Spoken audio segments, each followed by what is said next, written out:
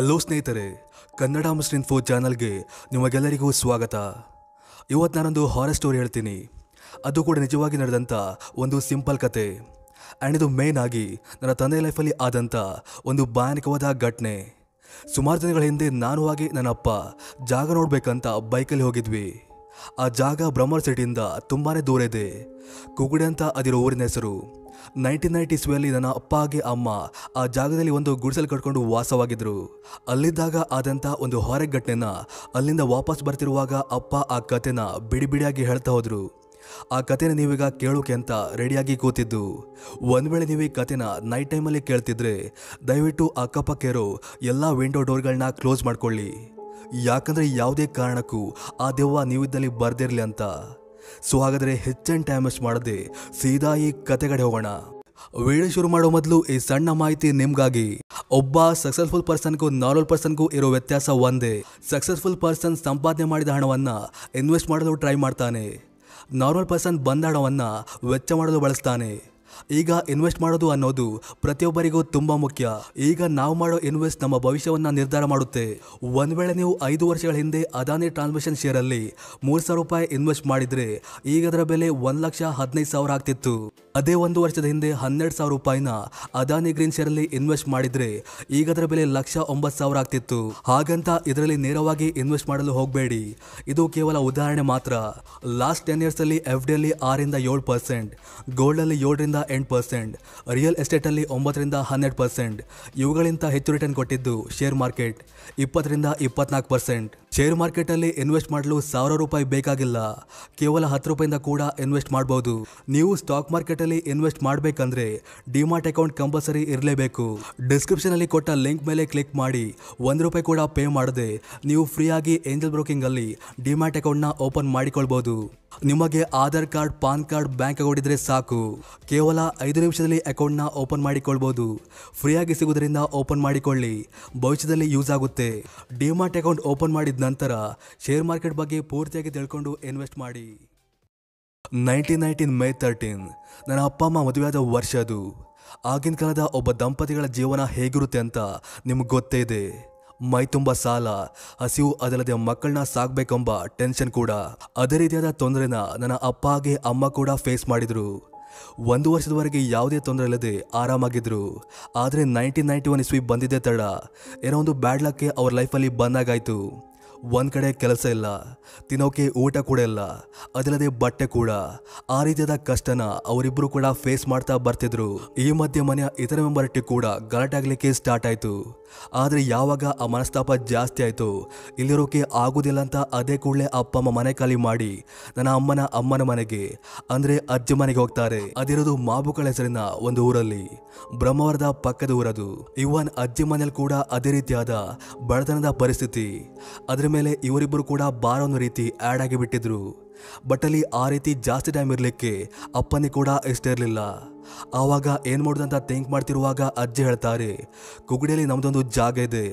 ಅದೊಂದು ಕಾಡಿನ ರೀತಿ ಇರೋ ಜಾಗ. ಅಕ್ಕಪಕ್ಕದಲ್ಲಿ ಒಂದೇ ಒಂದು ಮನೆ ಕೂಡ ಇಲ್ಲ. ಅಲ್ಲೋಗಿರೋದು ತುಂಬಾನೇ ಕಷ್ಟ, ಬಟ್ ಗೊತ್ತಿಲ್ಲ ನಿಂಬಿಟ್ಟಿದಂತ ಅವರು ಮಾತು ತಿಳಿಸ್ತಾರೆ. ಮರುಯೋಚನೆ ಮಾಡದೆ ಅಪ್ಪ ಅದೇ ಕೂಡಲೇ ಜಾಗ ನೋಡಿ ಬರ್ಲಿಕ್ಕಂತ ನಮ್ಮ ಮಾವಂದಿರೊಟ್ಟಿಗೆ ಅಲ್ಲಿಗೆ ಹೋಗ್ತಾರೆ. ಹಾಗೆ ಒಂದ್ ಕಡೆ ಇದ್ದ ಮನೆಲ್ಲ ಕಡಿದು ಅಲ್ಲೊಂದು ಗುಡಿಸಲು ಮಾಡಿ ಅದೇ ಕೂಡಲೇ ಅಮ್ಮನ್ನ ಅಲ್ಲಿಗೆ ಕರ್ಕೊಂಡು ಹೋಗ್ತಾರೆ. ನೀವು ನೋಡ್ತಿದ್ದೀರಲ್ಲ, ಇದೇ ಒಂದು ಜಾಗದಲ್ಲಿ ಗುಡಿಸಲು ಕಟ್ಕೊಂಡು ಆರಾಮಾಗಿದ್ದಿದ್ದು ಇವಾಗ ಅಕ್ಕಪಕ್ಕದಲ್ಲಿ ಹಲವಾರು ಮನೆ ಇದೆ. ಆದ್ರೆ ಅವಾಗ ಯಾವ ಮನೆ ಕೂಡ ಇರಲಿಲ್ಲ. ಆ ಒಂದು ದೊಡ್ಡ ಕಾಡಿನ ಇರೋ ಜಾಗದಲ್ಲಿ ವಾಸ ಮಾಡೋದು ಅತ್ಯಂತ ಕಷ್ಟಕರ. ಆ ಕಷ್ಟವನ್ನು ಅವರಿಬ್ಬರು ಈಗ ಫೇಸ್ ಮಾಡಬೇಕಿತ್ತು. ಹೀಗೆ ದಿನಗಳು ಉಳುತ್ತಾ ಹೋಗ್ತಿರುತ್ತೆ. ಇವನ್ ಅಪ್ಪನಿ ಕೂಡ ಒಂದ್ ಕಡೆಯಲ್ಲಿ ಒಳ್ಳೆ ಕೆಲಸ ಕೂಡ ಸಿಕ್ಕಿರುತ್ತೆ. ಆದ್ರೆ ಅಲ್ಲಿಂದ ಬ್ರಹ್ಮಾವರಕ್ಕೆ ಹೋಗ್ಲಿಕ್ಕೆ ತುಂಬ ಹೊತ್ತಿನ ಜರ್ನಿ ಇದೆ. ನಡ್ಕೊಂಡು ಹೋಗ್ಲಿಕ್ಕೆ ತುಂಬಾ ಕಷ್ಟ ಅಂತ ಮಾವ ಅವರಿಗೊಂದು ಸೈಕಲ್ನ ತೆಗೆಸಿಕೊಟ್ಟಿದ್ರು. ಹೇಗೋ ಅದರಲ್ಲಿ ಹೋಗಿ ಅದರಿಂದ ಬಂದ ಹಣದಲ್ಲಿ ಲೈಫ್ ಅನ್ನ ಲೀಡ್ ಮಾಡ್ತಿದ್ರು. ಹೀಗಿರುವಾಗ ಒಂದಿನ ಕೆಲಸಕ್ಕೆ ಅಂತ ಹೋದ ಅಪ್ಪ ಎಂಟು ಗಂಟೆ ಆದ್ರೂ ಕೂಡ ಮನೆಗೆ ಬರ್ದಿದ್ದನ್ನ ಕಂಡು ಅಮ್ಮನಿಗೆ ತುಂಬಾನೇ ಗಾಬರಿ ಆಗ್ತದೆ. ಇವಾಗಾದರೂ ಕಾಲ್ ಮಾಡಿ ಕೇಳುವಂತ ಆಪ್ಷನ್ ಕೂಡ ಇದೆ. ಆದ್ರೆ ಅವಾಗ ಅದೇನು ಕೂಡ ಇರಲಿಲ್ಲ. ಮನೆ ಒಳಗೇನೆ ಚಿಮ್ನಿ ಬೆಳಕಲ್ಲಿ ಕೂತು ಒಬ್ಬರೇ ಕಾಯ್ತಿರ್ತಾರೆ. ಗಂಟೆ ಎಂಟಾಗಿದೆ. ಮನೇಲಿ ಅವ್ರು ಬಿಟ್ಟು ಯಾರು ಕೂಡ ಎಲ್ಲ ಕಾಡ್ ಬೇರೆ. ನಿಜವಾಗ್ಲೂ ಅಮ್ಮನಿಗೆ ತುಂಬ ಅಂದ್ರೆ ತುಂಬಾನೇ ಭಯವಾಗಿತ್ತು. ಆದ್ರೆ ಈ ಕಡೆ ಅಪ್ಪನಿಗೆ ಏನು ಕೂಡ ಆಗಿರಲಿಲ್ಲ. ಕೆಲಸಲು ದೂರ ಇದ್ದ ಕಾರಣ ಅಲ್ಲಿಂದ ಹೊರಡ್ಬೇಕಾದ್ರೆ ಲೇಟ್ ಆಗಿತ್ತಷ್ಟೇ.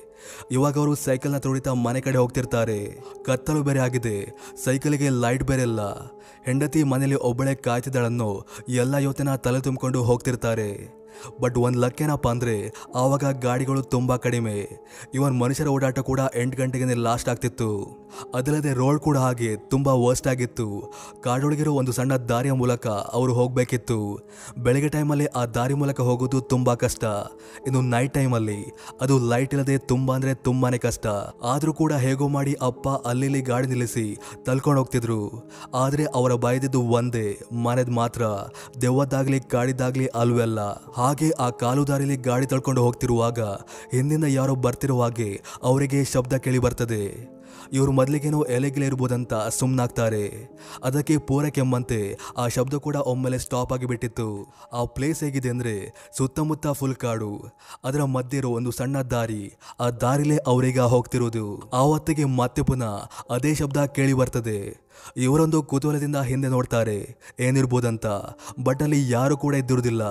ಏನು ಭ್ರಮೆ ಇರ್ಬೋದಂತ ಅವರು ಸುಮ್ಮನಾಗ್ತಾರೆ ಆವಾಗ ಸಡನ್ ಆಗಿ, ಎಲ್ಲೋಗ್ತಿದ್ದೀಯಾ? ಇಲ್ಲಿ ನೋಡೆಂಬ ಒಬ್ಬ ಮಹಿಳೆ ಧ್ವನಿ ಕೇಳಿ ಬರ್ತದೆ. ಆ ಧ್ವನಿ ಇವರ ಕಿವಿಗೆ ಬಿದ್ದಿದ ತಡ. ಗಾಬರಿಯಲ್ಲಿ ಏನು ಕೂಡ ರಿಯಾಕ್ಟ್ ಮಾಡದೆ ಹಿಂದೆ ನೋಡ್ತಾರೆ. ಶಾಕಿಂಗ್ಲಿ ಅಲ್ಲಿ ಯಾವುದೇ ಮಹಿಳೆ ಕೂಡ ಇದ್ದಿರುವುದಿಲ್ಲ. ಬದಲಾಗಿ ಅಲ್ಲೊಬ್ಬ ವ್ಯಕ್ತಿ ನಿಂತಿರ್ತಾನೆ. ಅರೆ ಕೇಳಿದ್ದು ಹೆಂಗಸಿನ ಧ್ವನಿ, ಆದರೆ ನಿಂತಿರೋದು ಗಂಡಸು ಅಂತ ಅವರಿಗೆ ಆಶ್ಚರ್ಯವಾಗ್ತದೆ. ಹಾಗೆ ಇವರು ಕೂಡ ನಿಂತಲ್ಲೇ ಆ ವ್ಯಕ್ತಿಗೆ ಕ್ವಶನ್ ಮಾಡ್ತಾ ಹೋಗ್ತಾರೆ. ಯಾರ್ ನೀವು ಅಂತಲ್ಲ? ಆದರೆ ಆ ವ್ಯಕ್ತಿ ಮಾತ್ರ ಏನು ಕೂಡ ಮಾತಾಡದೆ ಮಂಕು ಬಡಿದಾಗೆ ನಿಂತಿದ್ದ. ಅಪ್ಪ ಎಷ್ಟು ಮಾತಾಡಿದ್ರು ಕೂಡ ಅವನು ಮಾತ್ರ ರಿಯಾಕ್ಟ್ ಮಾಡೋದಿಲ್ಲ ಇತ್ತು ಇವರಿಗೆ ಒಂಥರ ಬಾಗ್ಲಿಕ್ಕೆ ಸ್ಟಾರ್ಟ್ ಆಗ್ತದೆ. ಅದೇ ಕೂಡಲೇ ಸೈಕಲ್ ಹತ್ತಿ ಓಡಿಸ್ಲಿಕ್ಕೆ ಸ್ಟಾರ್ಟ್ ಮಾಡ್ತಾರೆ. ಆದರೆ ಆ ವ್ಯಕ್ತಿ ಮಾತ್ರ ಒಂದೇ ಸಮನೆ ನಡೀತಾ ಅವ್ರನ್ನ ಫಾಲೋ ಮಾಡ್ತಾ ಹೋಗ್ತಿರ್ತಾನೆ. ಆದರೆ ಸ್ವಲ್ಪ ದೂರ ಹೋದಾದ ನಂತರ ಅವನಲ್ಲಿಂದ ಇದ್ದಕ್ಕಿದ್ದಾಗೆ ಮಾಯವಾಗಿ ಬಿಟ್ಟಿದ್ದ.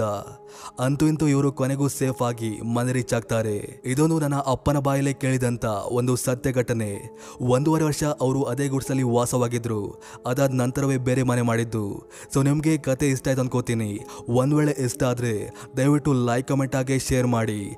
ಸೊ ಇದಿಷ್ಟು ಇವತ್ತಿನ ಕತೆ. ಮತ್ತೊಂದು ಕತೆ ಒಟ್ಟಿಗೆ ಮತ್ತೆ ಸಿಗ್ತೀನಿ. ಅಲ್ಲಿವರೆಗೂ ಥ್ಯಾಂಕ್ ಯು ಫಾರ್ ವಾಚಿಂಗ್